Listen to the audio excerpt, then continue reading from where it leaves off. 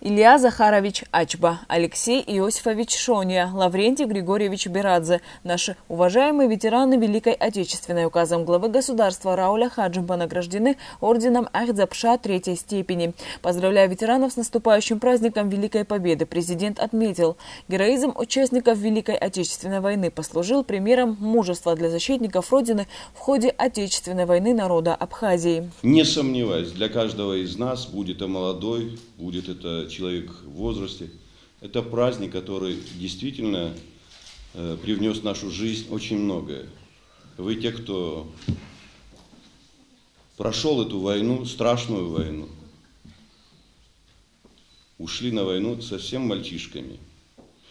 И ваши примеры, как раз ваш героизм послужил и тем, чтобы наши молодые ребята героически защищали свою родину.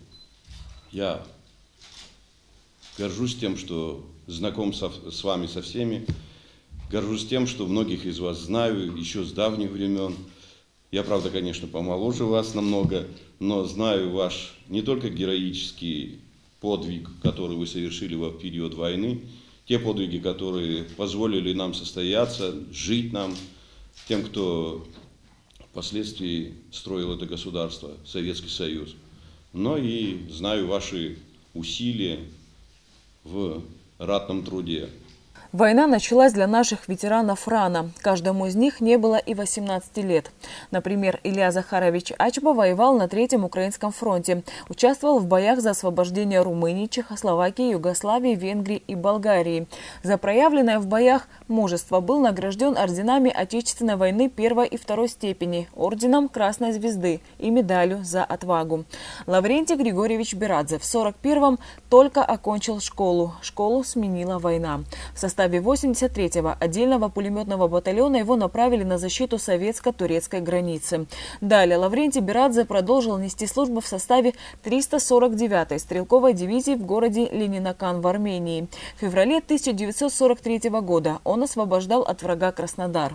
Лаврентий Григорьевич награжден медалями за освобождение Краснодара и за охрану советско-турецкой границы. Алексей Иосифович Шония добровольно ушел на фронт в 17 лет. По распределению попал в Краснодарское пулеметно-минометное военное училище. В составе 24-й гвардейской дивизии в 1942 году участвовал в освобождении Донбасса, Крыма, Керчи и Ростова. أحمد شكا حبسد شه جبا بتوقتن بتو حفظ زن شحسد بتو شكيساي شنبز لكو حبسن بل نبسد يل أشا كرقل ريتو شوش كده يلن شما من شخيسا حز كم بغو بستازر حبستازر يقول بسر بيرن شخيسا Старый Харадурова. И желаем крепкого здоровья, семейные части, службе успех.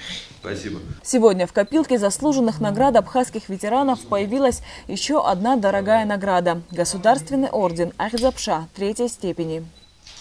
Я благодарен за награду. Но хочу отметить, что очень приятно. Я что получаю сегодня от, от президента нашей республики. Дай Бог вам здоровья, счастья, радость пускай сопутствует вас. Пускай вам здоровье будет ради наших населения. Спасибо. Будьте здоровы. Спасибо. После торжественной части ветераны Великой Отечественной и глава государства сфотографировались на память. Анастасия Никонова, Торник Амичба, Абаза ТВ.